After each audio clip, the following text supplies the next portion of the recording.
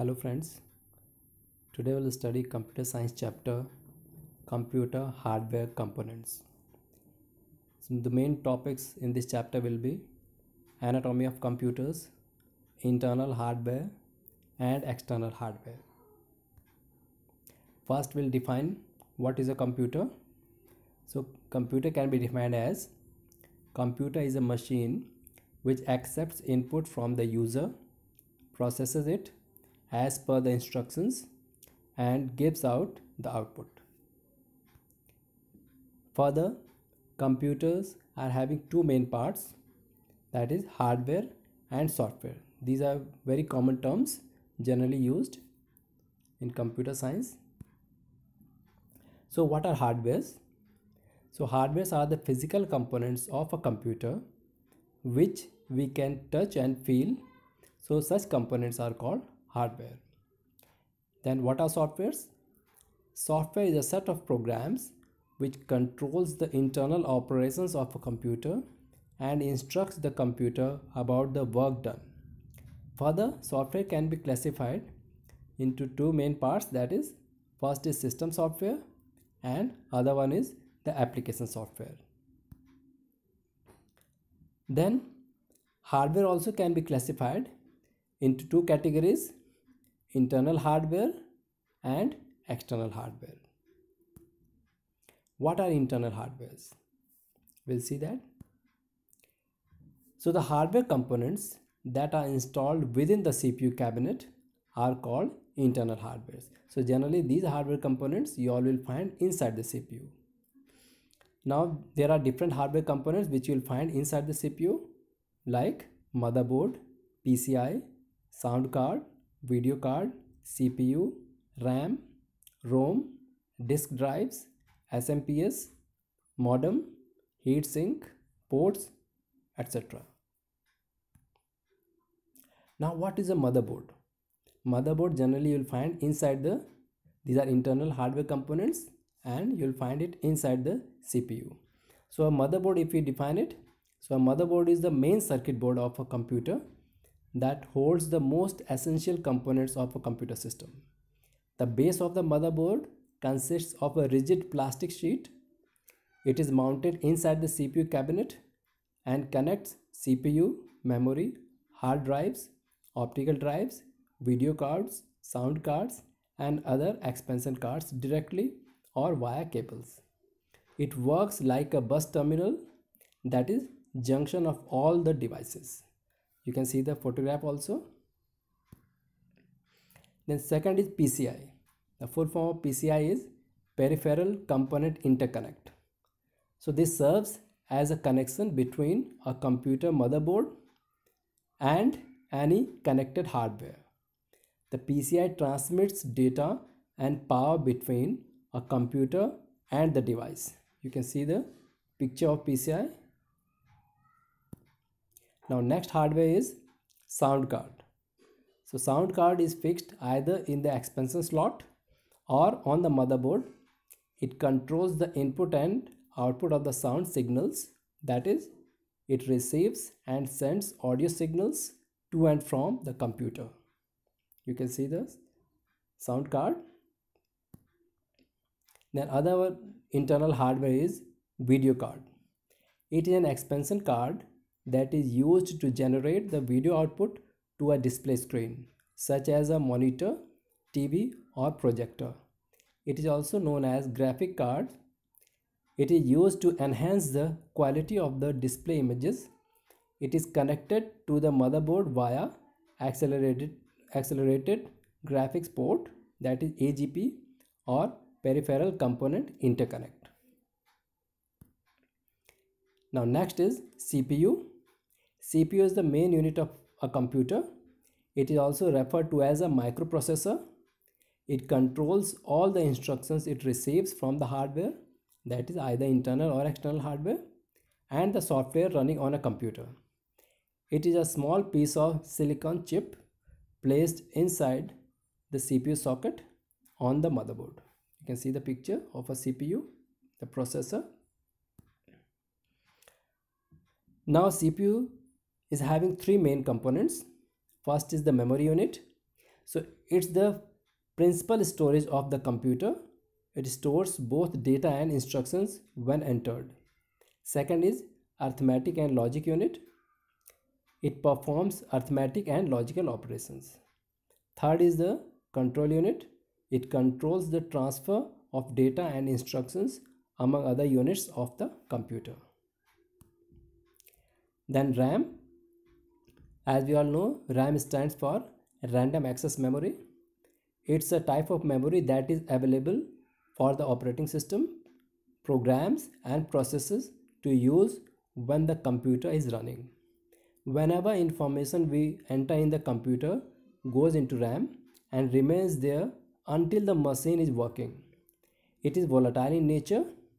It means that when the power is switched off, whatever is there in the memory gets washed off. Now other internal component is ROM. So ROM stands for read-only memory. So it is a type of memory from which we can only read information but we cannot write on it. It's a non-volatile memory therefore the information is stored permanently. Even when the system is powered off then also information remains there. Data stored in the ROM can neither be modified nor erased easily. It stores instructions required to start a computer. Now other are the disk drives. So we can see the pictures. So what it does, it enables us to read, write, delete and modify data on a storage disk. It is either a built-in or external component of a disk that manages the input output operations of a disk. So commonly used disk drives is a hard disk drive. So you can see the picture of a hard disk drive. Then comes smps it stands for switched mode power supply. So it is the essential sorry it is essential for safe running of power consuming electrical and electronic appliances. It always supply well-regulated power to the motherboard and other parts of a computer and saves power. It has a built-in fan to release the excessive heat during the time computer is in use. You can see the figure. Generally, you'll find it at the back side of CPU. Now, next component is modem. So, it's very familiar term modem it stands for modulator demodulator.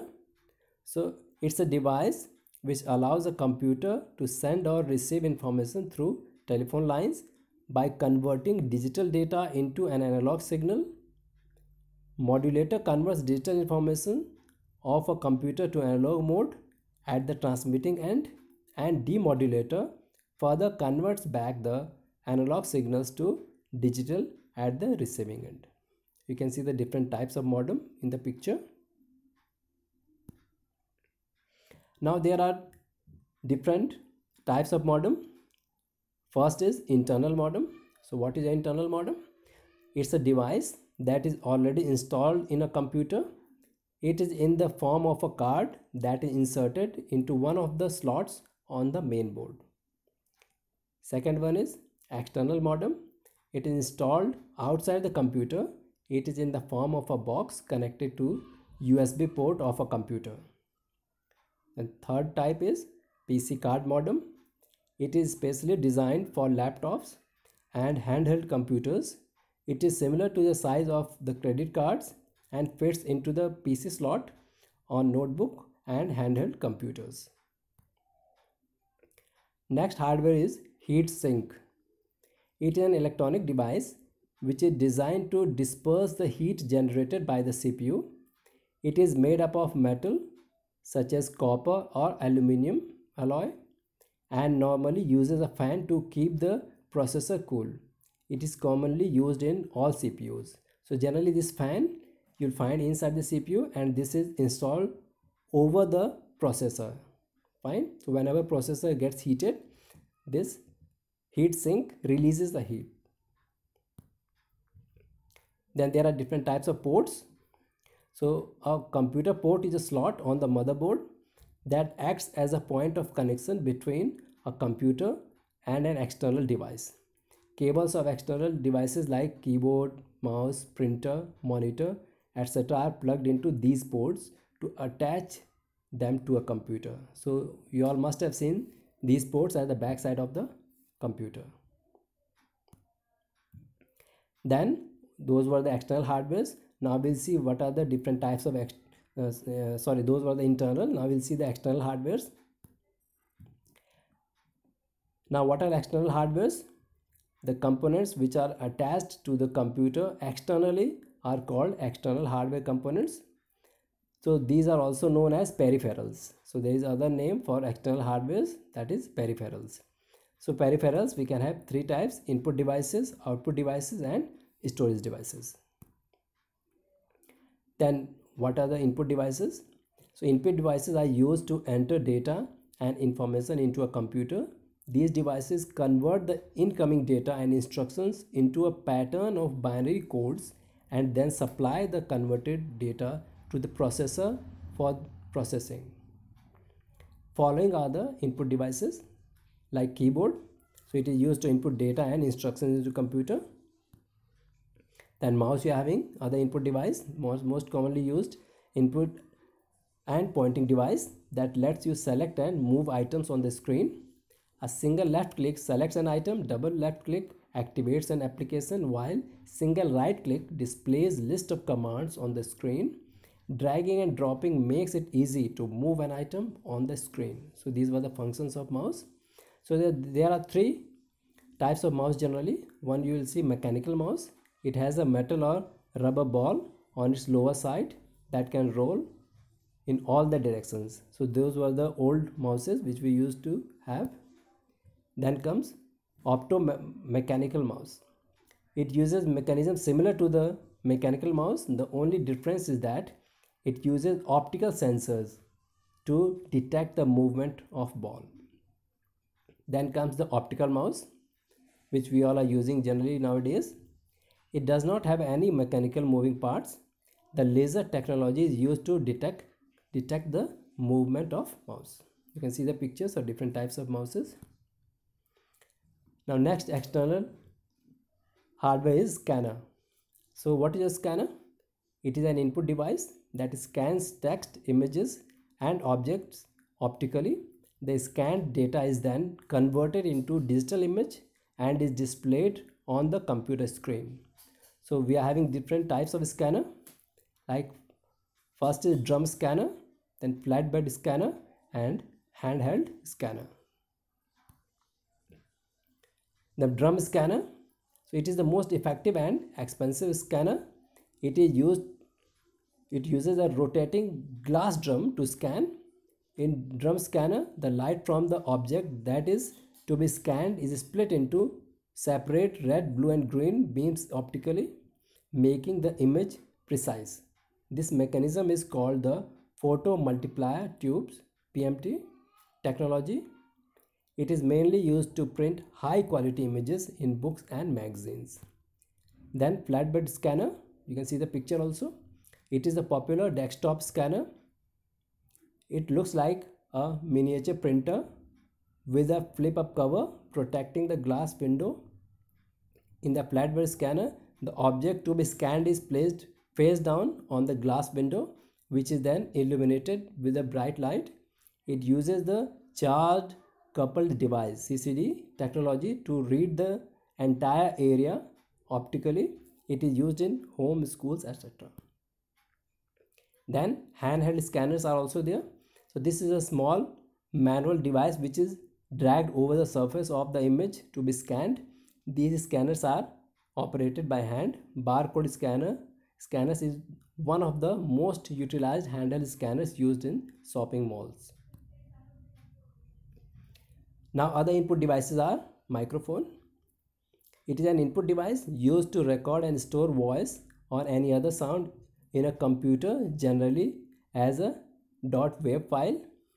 It is also used for recording a narration in PowerPoint presentation. Other input device light pen. It is light sensitive pointing device commonly used to select or modify data on the screen. It allows the user to point on display objects or draw on the screen. Its operation is similar to touch screen but has greater positional accuracy. It is easy to use and helpful for programs like computer aided design that is CAD.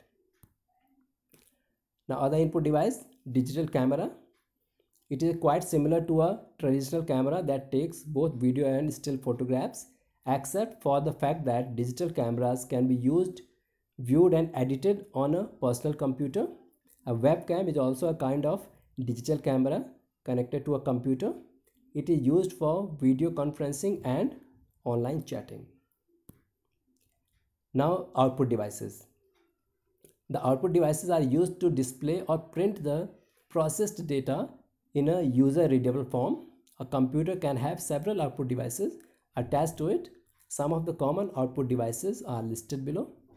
So first one is most common output device is monitor. So it is the most common out output device which is also called as visual display unit an electronic visual display for computers. The picture on a monitor is made up of thousands of small colored dots called pixels. The output displayed on the computer monitor is called soft copy. Now, three types of monitors are commonly used like the old ones cathode ray tube monitors then liquid crystal display that is LCD or thin film transistor TFT monitors and third one light emitting diode monitors that is LED monitors. Now other output device is printer a printer is a peripheral device that accepts text and graphic output from a computer and prints the information on a paper. The printed information on the paper is called a hard copy. A printer is connected to the computer using a USB port or Wi-Fi connection. Printers vary in size, speed and cost. So then there are two types. Impact printers. So it depends how the printing happens in these different types of printers like in impact printers that allow physical contact between the printer head and the paper that is these printers print by the impact of printer head on the paper they are also called character printer example is daisy wheel printer and dot matrix printer generally these printer create lot of sound when they print then other are non-impact printers. They do not allow physical contact between printing head and the paper. That is, they do not strike against the inked ribbon or the paper which is being printed. Only the ink used for printing touches the paper. Example are inkjet printers and laser printers. Now other output device is projector. A projector is an output device that takes images generated by a computer and displays them onto a big screen, wall or any other flat surface. A projector is commonly used for in school classrooms for teaching, at meeting, in an office and in cinema theaters also. Now next is the storage devices. So storage devices store information until it is overwritten or deleted by the user.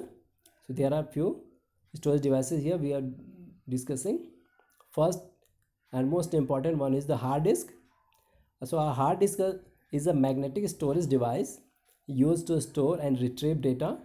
It is made up of a collection of disks called as platters stacked on top of each other each platter consists of two read or write heads on both the sides for reading the stored data each platter has the same number of tracks to store data a track location that cut across all platters is called cylinder.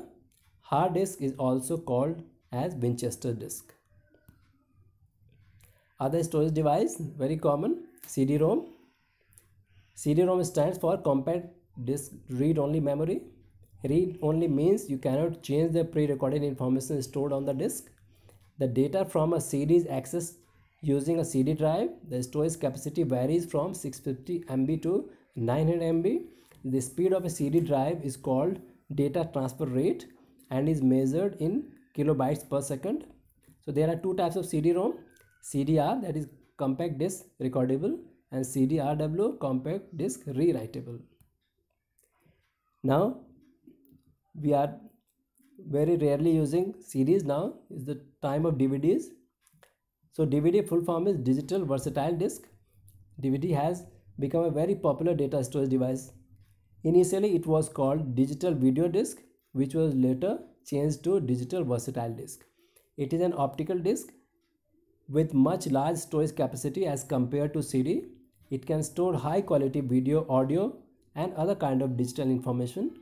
It is available in single and double-sided versions.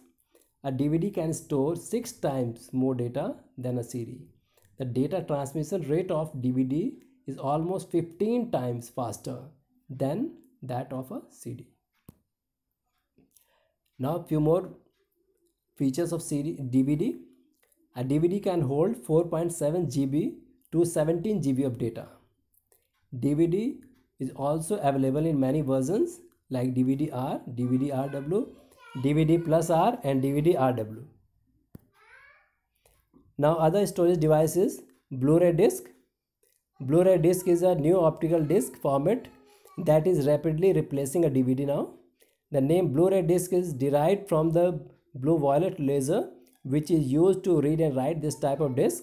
This disc has the same dimensions as a DVD and CD but can hold up to 25 GB of data on a single layer and 50 GB of data on a dual layer disk. It can store up to 6 times the data stored in a regular DVD. Now other storage device that is very common nowadays that is flash drive. It's a small and portable flash memory data storage device mainly used to transfer audio, video and data files from the hard drive of one computer to another computer. It is removable and rewritable it is plugged into computer USB port. Flash drive is also called as pen drive or thumb drive and is available with storage capacity up to 1 TB of data and is further planned to have a capacity of 2 TB. Thank you. So that was all about hardware components. So this completes your chapter computer hardware components. Thank you for watching.